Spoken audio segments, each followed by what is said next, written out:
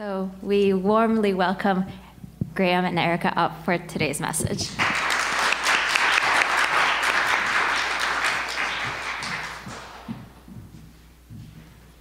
Well, good morning. It is such a pleasure to be here with you. Your church is always so welcoming, and Graham and I always talk about that with ourselves.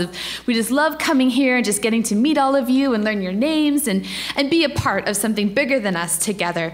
And so, thank you so much. We are so excited to partner with you, to be sent out with you, and we're really looking forward to making a gospel impact on our city together.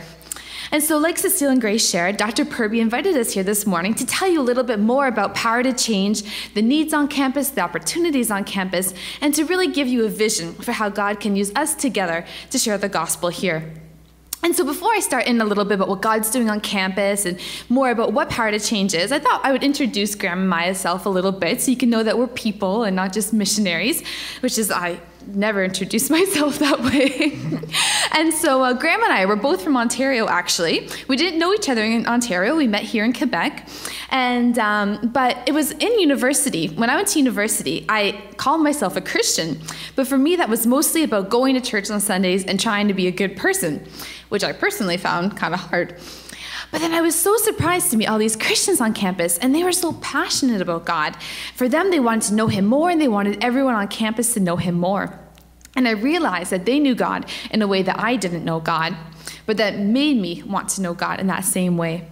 And so, university was where I started a personal relationship with God, one that wasn't just about trying hard, but about really knowing God and understanding grace and that God loves me. And it's not about always doing the right thing, but about what Christ did for me. In a similar way, university was where Graham also gave his life to God, and he grew up in a Christian family. But it was at university that he realized it was, a, um, yeah, where he totally surrendered his life.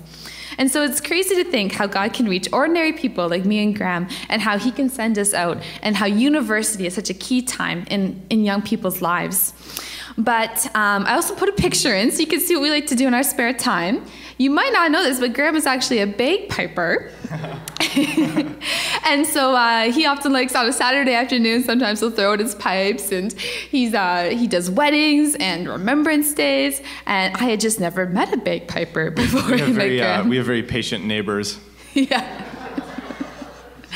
And I am a die-hard basketball fan, and I'm getting excited. Next month is a huge basketball tournament, March Madness, if there's any basketball fans out there. But I've loved actually playing on a local team in the community. It's been a great way for me to get to know Montrealers too. So there you go. We're more than just missionaries, we're people, and we like bagpipes and basketball. but next slide. And so many of you already know about Power to Change, and I loved seeing those hands go up. For those of you who are more new to the ministry, Power to Change, we exist to help students uh, discover Jesus, and we want to change the world by helping students discover Jesus. We long for a day when no student graduates without engaging in the life changing message of Jesus. Now, this is a huge stream. At Université de Montréal alone, there are 42,000 students. But we believe um, that God has called us to reach them and that together we can do more. And so that's our ministry. I love this quote from the president of the UN General Assembly, I believe it was in the 1970s. He said, Change the university today, change the world tomorrow. And that's because he knew, the president of the General, UN General Assembly, he knew that the students on our campuses are tomorrow's teachers, tomorrow's lawyers, doctors, nurses, mothers, fathers, voters. And that if we can capture their hearts today for Christ, imagine how that would change our society tomorrow. So I believe university is a huge turning point uh, for these young students. I love this picture. It was from the student strikes. I think it was back in 2012. You'll remember the big uh, student strikes. And it says, sorry for the inconvenience. We are trying to change the world. Students are going to change the world.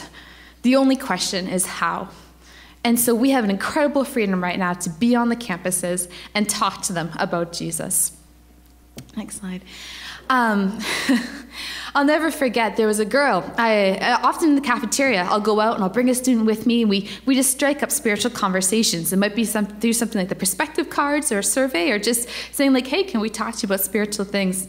One of these girls I met. Um, we became friends. We'd go for coffee. I gave her a book by Timothy Keller to read. She'd come with me to the symphony. And I remember her telling me that she had a tattoo uh, right here on her hip.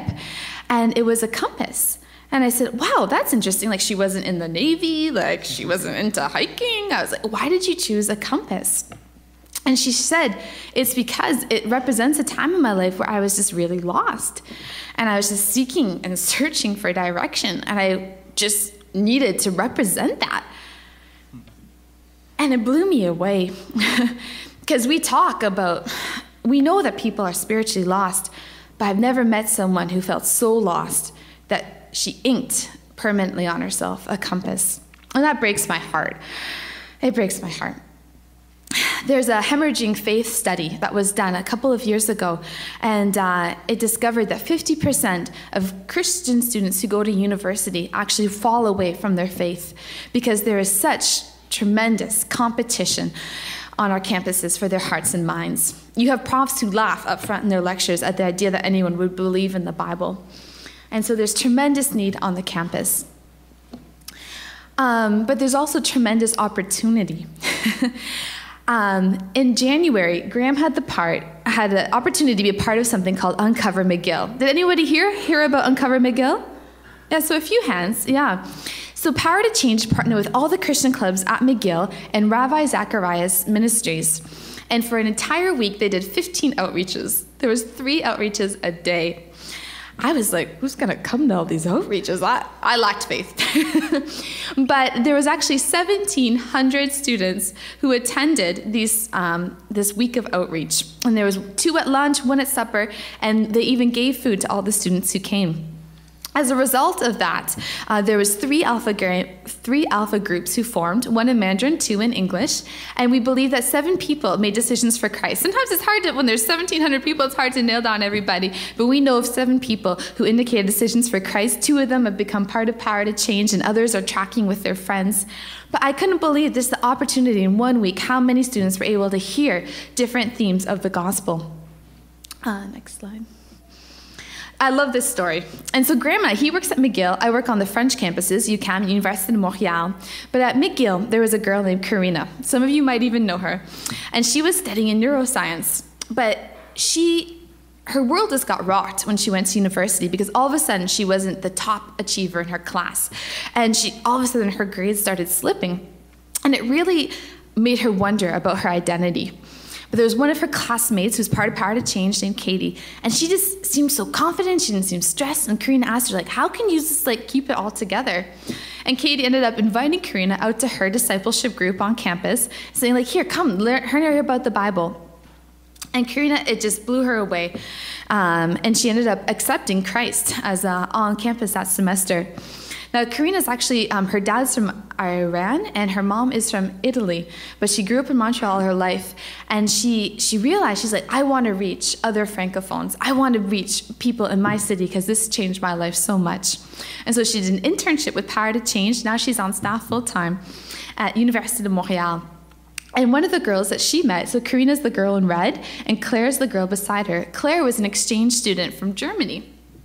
And she, we met her at, uh, during Frosh Week, and she wanted to know more. And it was kind of curious because Claire had grown up in a Christian family, but she identified as atheist. So Karina would meet up with her every week or every other week, and they would talk about who is God, why does God matter, who is Jesus, what does it mean that He died on the cross for us. And you know, a whole school year went by, and Claire would come out to our social activities, she would come out to our meetings, but she never took that step of choosing Jesus for herself. And the school year ended, we were like, oh, that's too bad. But a month later, Claire texted uh, Karina, and she's like, hey, I went to church today, and for the first time, it made sense, and I got it that Jesus died for me, and I want to give him my life. And to this day, uh, Claire's gone back to Germany, but we, um, Karina's still tracking with her, and she's still walking with God.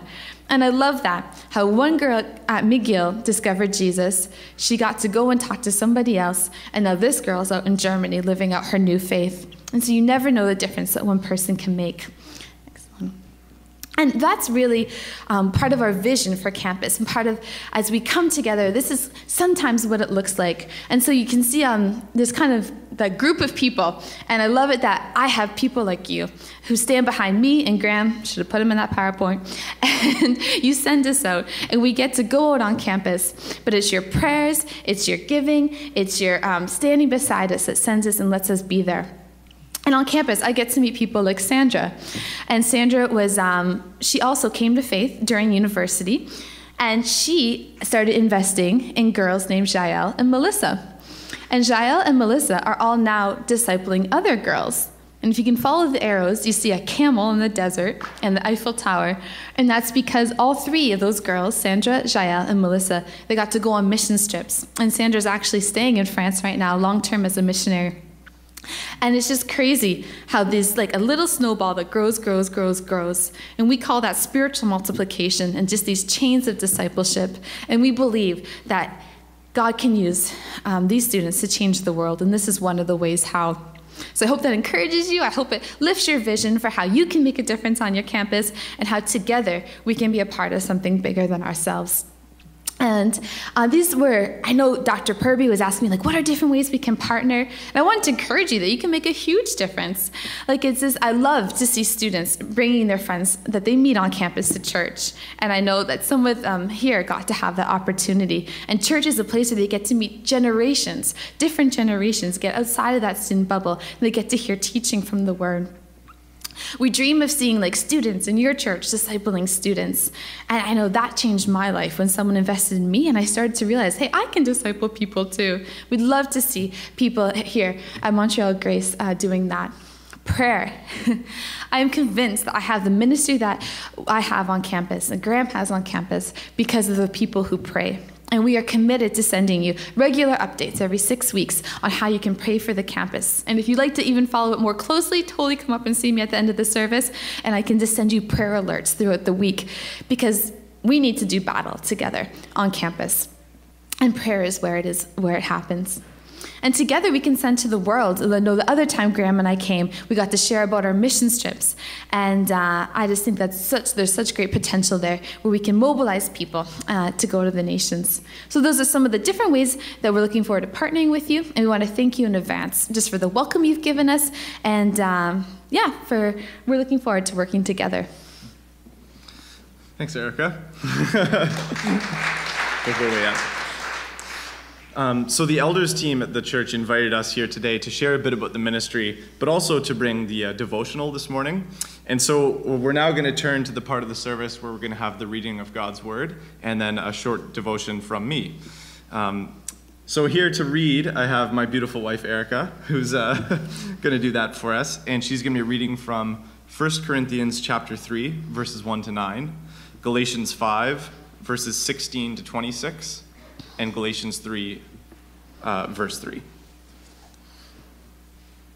So 1 Corinthians 3, verses 1 to 9. But I, brothers, cannot address you as spiritual people, but as people of the flesh, as infants in Christ. I fed you with milk, not solid food, for you were not ready for it. And even now, you are not yet ready for you are still of the flesh. For while there is jealousy and strife among you, are you not of the flesh and behaving only in a human way? For when one says, I follow Paul, and another, I follow Apollos, are you not being merely human? What then is Apollos? What is Paul? Servants through whom you believed, as the Lord assigned to each. I planted Apollos watered, but God gave the growth. So neither he who plants nor he who waters is anything, but only God who gives the growth. He who plants and he who waters are one, and each will receive his wages according to his labor. For we are God's fellow workers. You are God's field, God's building. Then we can turn together to Galatians 5, verses 16.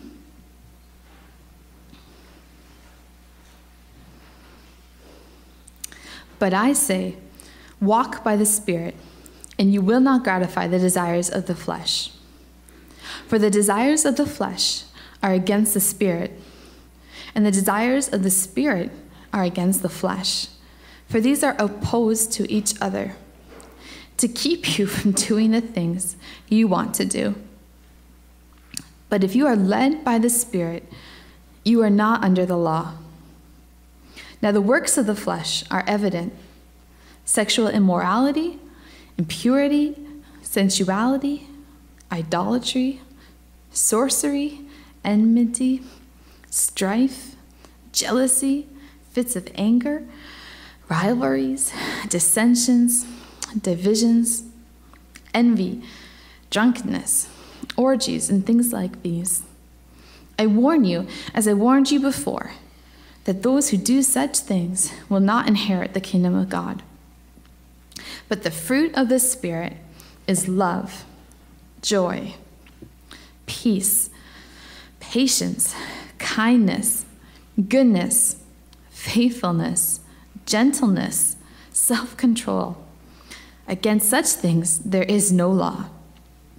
And those who belong to Christ Jesus have crucified the flesh with its passions and desires.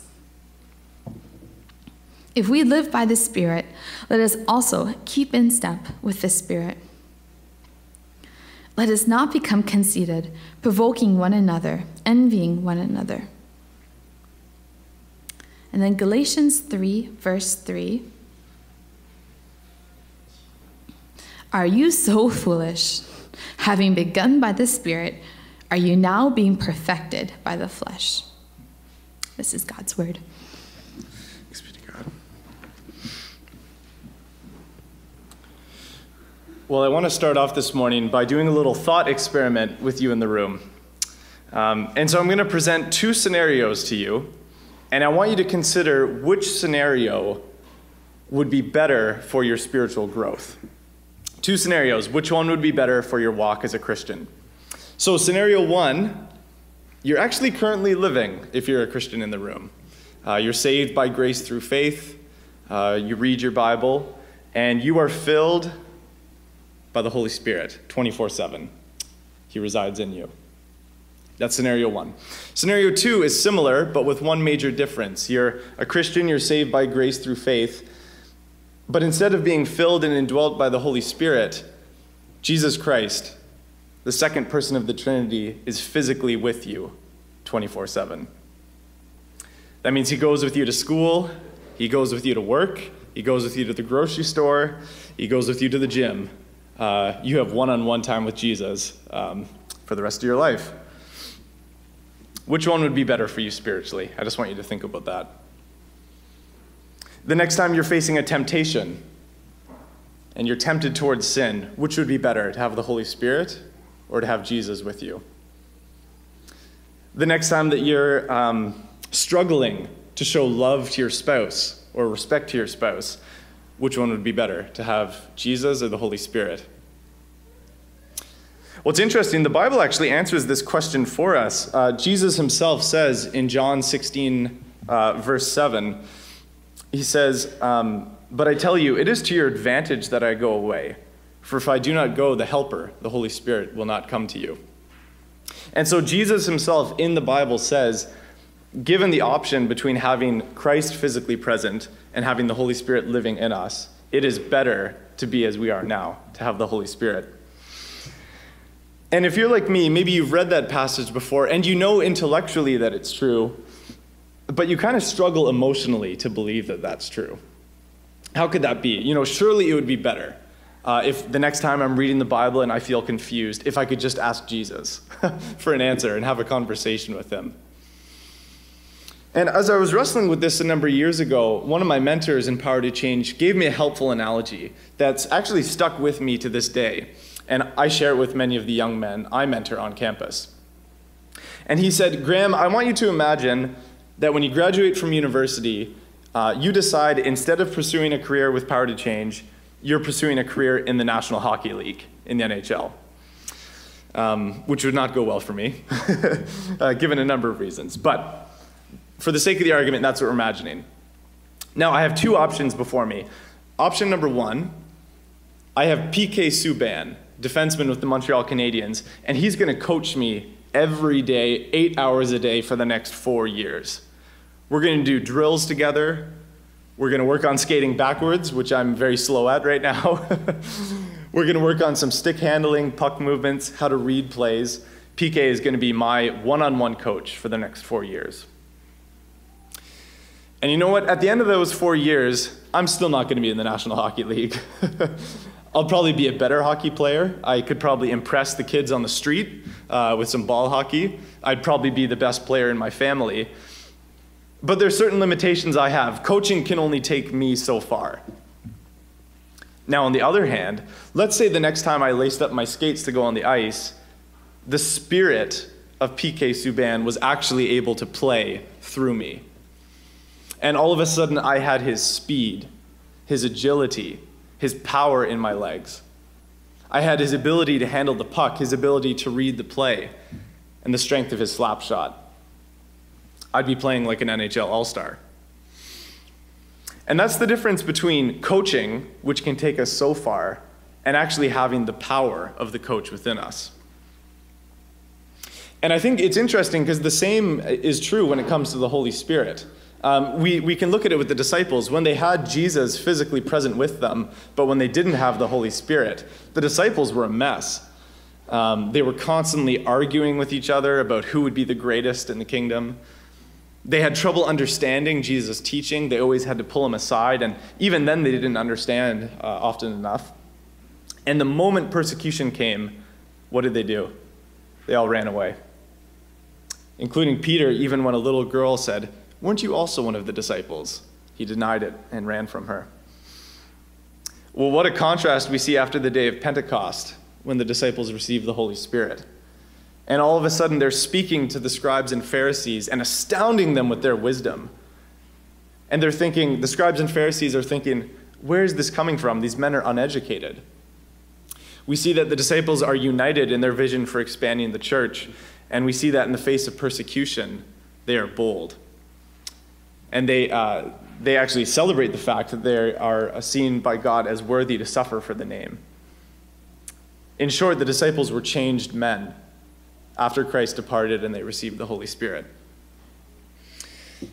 But you know, I think the reason that many of us, given that thought experiment, which would we prefer, to have Christ physically present or the Holy Spirit, I think the reason many of us are attracted to the idea of having Christ physically present the reason we're attracted to that is because we feel like we've tried living life by the Spirit and it hasn't gone well for us. When in fact, I would submit to you, I think the thing that we've tried is living life by our own strength, living the Christian life by our own strength, and not by the Spirit.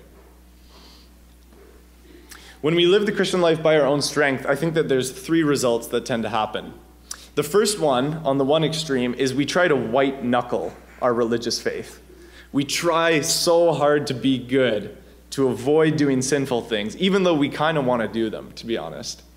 We try hard to be loving towards people that are hard to love.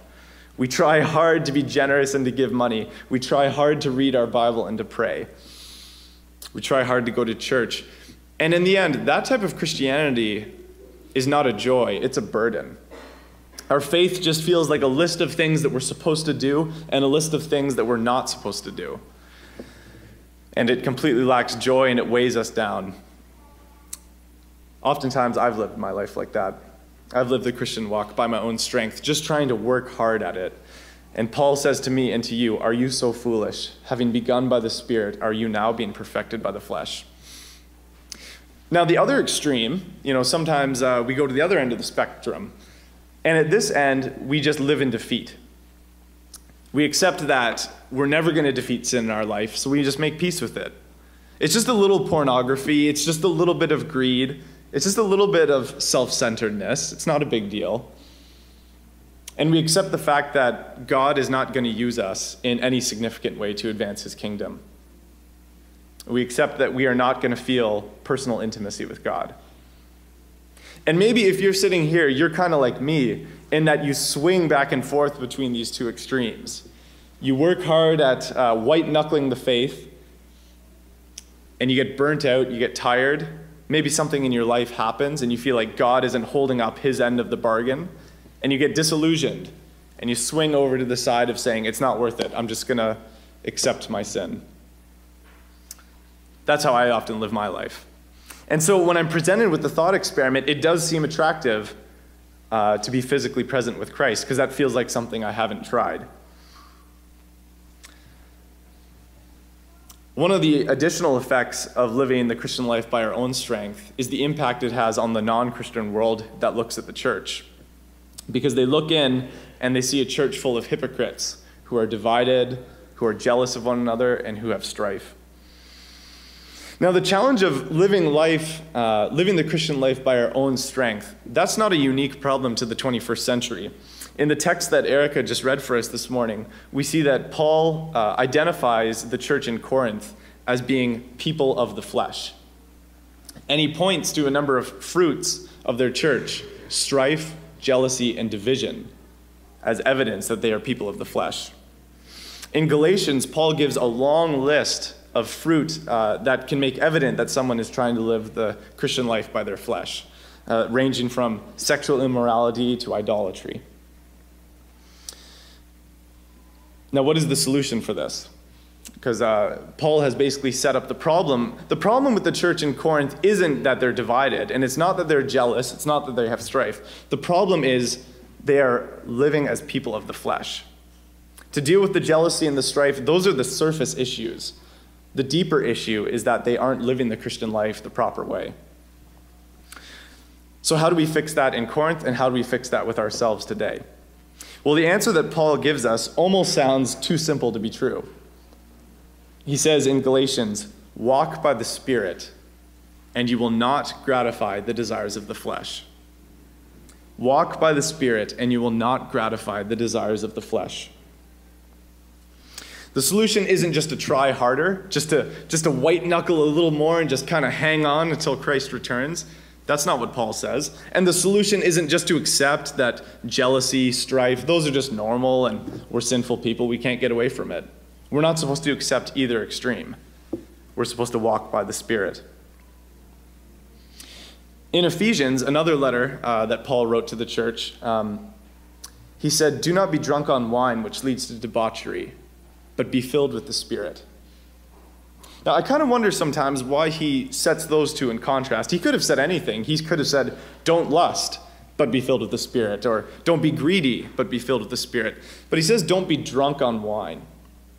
I think the reason that Paul um, sets those two up as a contrast is because um, it's an issue of influence. When someone uh, is charged with drunk driving, they call it driving under the influence, a DUI. And I think with the Spirit, it's the same that what Paul is calling us to is to be more influenced by the Spirit, to have his influence greater in our lives. And I think it's easy to see why this could be a solution to the problem of living by the flesh, to be more under the influence of the Spirit. Just given the text we read this morning, um, a person who lives, like, maybe I'll pause for a moment and just give a bit of a vision of what it could look like to live by the Spirit. The fruit of the Spirit, Paul mentions, come to those who live by the Spirit. And so maybe you're like me and, and you need help loving those who are difficult to love. Maybe it's your boss or, uh, or even your spouse at times or, or a child. Maybe you need more joy in your life. Uh, you feel like the kind of person who just the weight of work, the weight of raising a family is just bringing you down and you feel miserable all the time. Maybe you need more joy or peace. Patience, I think that's what I need. Uh, walking around Montreal behind people that are walking slow. I need more patience in my life. Kindness, gentleness, goodness, faithfulness, self control, the ability to say no to sin. These are things that come as we walk by the Spirit. And so I can see how Paul's simple answer, be walk by the Spirit, uh, can be the solution to the problem in the Corinthian church. Other things that come with being filled by the Spirit. Um, in Acts 1, verse 8, uh, Jesus says, You will receive power when the Spirit has come upon you, and you will be my witnesses in Jerusalem, in Judea, and, and all Samaria, and to the very end of the earth. And so when we're filled with the Spirit, our evangelism becomes more powerful when we're sharing with our neighbors and our friends. When we're filled with the Spirit, uh, he, he reveals to us Scripture as we read it, and He helps point us to Christ and to understand. When we're filled with the Spirit, we're able to put to death the fruit of the flesh in our lives. It's, it's a beautiful image, and, and to be honest, it's the Christian life that I want, and it's the Christian life that I need. And I think it's the Christian life that you want and you need too. That we need to stop white knuckling it and we need to stop giving up, but instead walk by the Spirit. And so that leads us to the question of how. How can we, um, going back to Paul's example between uh, do not be drunk on wine, but be filled with the Spirit, we know how to get drunk on wine. Uh, you consume more and you get drunk. but how can we be filled with the Spirit? We've already received the Spirit in complete fullness. We can't get more of Him. Well, I think that there's a number of things that we can do to become more under His influence in our lives. And I'm going to give you three ideas that you can take away, and I'm sure that there's more than these you can discuss in small groups and with your friends in the church. But three ideas. My first idea is that we should actually ask God to fill us with the Spirit. In Ephesians, Paul commands us, he says, Do not be drunk on wine, be filled with the Spirit. God is giving us an explicit command to be filled with the Spirit. And when God gives you a command and you pray to Him and ask Him for help to fulfill that command, that is a prayer He is pleased to answer. So, how about we stop right now, actually, and I'm going to take a moment and pray that for myself and for you here, and then we'll continue. So, let me pray. Father, I thank you that you have a better life in store for us, uh, a life that is not just being burnt out on religion and just trying to work to be good and work to obey you. I thank you that you have a life that's better than just rolling over and accepting that sin is going to defeat us. You have an abundant life that comes through your Holy Spirit. And Father, I recognize in your word you command us to be filled with your Spirit. And I confess all too often I spend my Christian life trying to do it in my own strength and not walking according to your Spirit. I confess that. I repent of it, and I ask that at this very moment you would fill and empower me by your Spirit. And I pray that for my brothers and my sisters here too, that they would experience greater intimacy with you, that they would sense your presence in their lives, and that they would experience a joyful walk with you. They would have the fruit of the Spirit growing in their lives. Um, yeah, Father, would you, would you increasingly help us to walk by the Spirit as individuals and as a church? I pray that in Christ's name. Amen. So the first was to ask. The second, Paul actually says in Galatians chapter 5, verse 24, uh, after listing the fruit of the Spirit, he says, Crucify the flesh with its passions and desires. Crucify the flesh with its passions and desires. And I think what Paul means by that is submit to Christ's lordship over every area of your life. Often, when I'm talking to my disciples, I give them the analogy. I, I ask them to draw a picture of a house with different rooms. Uh, so, usually, they draw a little box with a triangle on top. And I ask them to label each room uh, as an area of their life. So, there could be the, the study area of their life, represents how they spend their, their time at school. Uh, money, how they handle their finances. Uh, maybe a room in their life that represents relationships, both friendships and romantically. All sorts of different rooms. And I ask my disciples, would Jesus Christ feel perfectly comfortable in every room of your life house? Or are there certain rooms that he is unwelcome? The example I often give is actually of myself in first year university. Like Erica um, introduced me, I grew up in a Christian family, and intellectually, I believed all the good things a Christian should believe. I believed Jesus Christ was the Son of God, that he died for my sins. I believe that the Bible was inerrant and that in it were the words of truth. I believe that you had to be saved by grace through faith or else experience the judgment of God. I believed all those things intellectually, but they hadn't transitioned down to a heart level. In the heart level, I was still living for myself. I was dating a non Christian at the time, and our relationship was not one that was marked by purity. And so when I was in first year university, I came to a point where I recognized the reason I lacked intimacy with Christ was because I was holding him at arm's length from a very important area of my life. I said, Sure, Jesus, you can come in, you can change the way I spend my money, you can change the way I am at school, um, but don't touch my relationships. That's my area. And if that's the way that I interact with God, I'm not going to experience intimacy and fellowship with Him. And I think many of us, as we walk our Christian lives, are holding God at arm's length from certain areas of our life. It could be romantic relationships, it could be holding on to bitterness, it could be that we want to put ourselves first ahead of others. It could be greed, and we don't want to be generous towards the church and towards the needy. It could be many areas. And what we need to do if we want to receive more of the Spirit in our lives is we need to crucify the flesh and invite God into those areas that we want to hold on to. So for me in first year, what that looked like was ending that relationship with the non Christian girlfriend. And that year was one of the most transformative in my life for my faith. Because for the first time, Jesus Christ was the Lord of my whole life, and I could experience intimacy with him.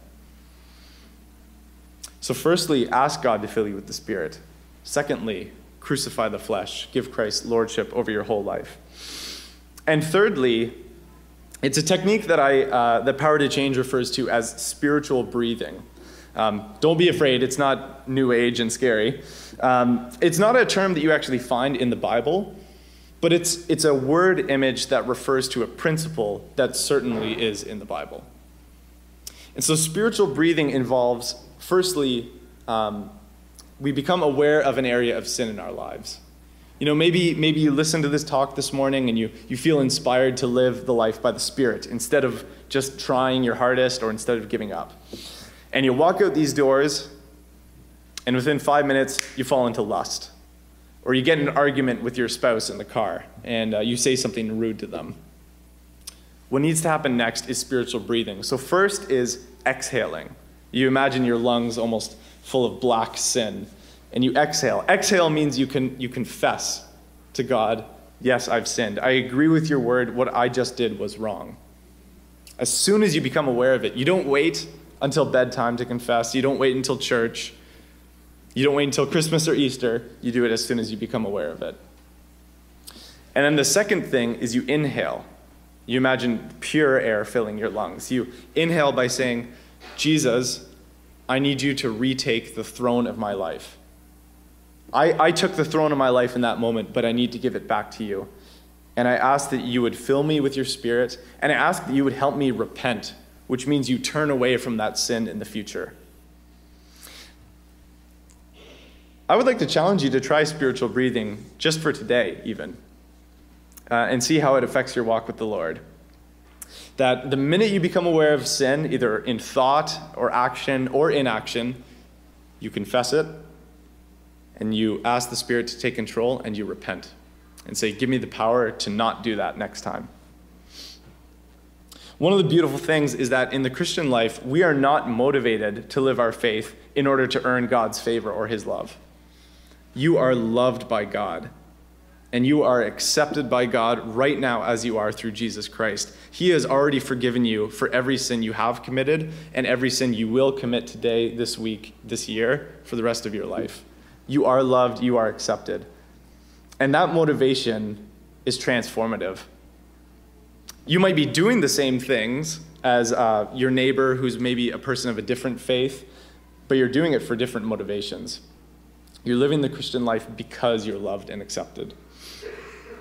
And so I want to conclude today just by saying that um, to those of you that are here, maybe like me, to be honest, I'm just going to give full disclosure. This week, I was a white knuckling Christian, and it was miserable. I was angry, I was tired, stressed out, I was snappy with Erica. It was a bad week for everyone. And I want to invite you today if you're that kind of person that is just trying so hard there is a better way. And that way is walking by the Spirit. And if you're here this morning and you're living in defeat, you've just accepted that pornography is going to be a part of your life forever. You've accepted that um, you're never going to be a loving person. You're always going to have bitterness in your heart. There is a better way, and it's walking by the Spirit. The Apostle Paul invites us to walk by the Spirit and I want to invite you to walk by the Spirit. Let me close in prayer. Father, I thank you again that um, in the Christian life, we are motivated not to earn your love, but because you are, have already given your love. I pray that um, us as individual Christians and us as a church would increasingly walk and rely on your Holy Spirit. I pray that you would change our lives and that each and every year we would look back and be amazed at the growth that we have seen. I pray for those of us that are trapped in a cycle where we feel like we are working and working and working at the Christian faith. I pray that your peace would come to us and uh, that Jesus would take that burden from us and we could walk a joyful, light Christian walk. I pray for those of us who have given up, Father, who are just defeated. I pray that we would, we would take the step of faith to trust you, to trust your Spirit, and we would see victory. Lord, it's not an easy thing, it's not a simple thing, but it's a thing that we can trust you for. And so we invite and ask your Spirit to fill each of us individually and us as a church. Pray that in Christ's name. Amen.